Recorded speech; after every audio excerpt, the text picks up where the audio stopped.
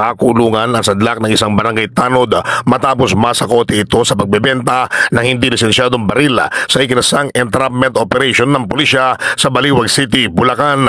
Sa ulat kay Central Luzon Police Director Brigadier General Jose Hidalgo Jr. Kinilala ng pulisya ang nadakip na sospek na si alias Vic, 45 anyos, barangay tanod ng Tangos, Baliwag City, Bulacan. Nasamsam sa sospek ang dalawang piraso ng kalibre 38 na barila at mga bala nito, isang improvised shotgun, isang improvised caliber 22 pistol, magazine at mga bala at mark money na ginamit sa bypass, maging ang motorsiklong gamit ng sospek sa pagkipagtransaksyon.